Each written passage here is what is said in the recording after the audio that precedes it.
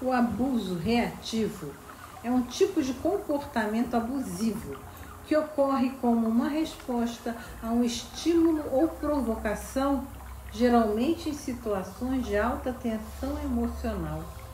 É uma forma de reação impulsiva, onde a pessoa age de uma maneira agressiva ou prejudicial em resposta a um evento que a fez sentir-se ameaçada, desrespeitada ou atacada.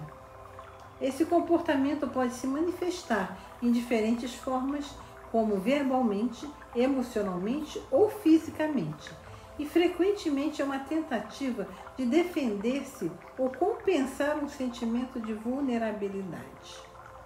Compreender o abuso reativo ajuda a identificar padrões de comportamento que podem estar enraizados em experiências passadas de trauma ou estresse e a trabalhar estratégias para a regulação emocional e a comunicação saudável.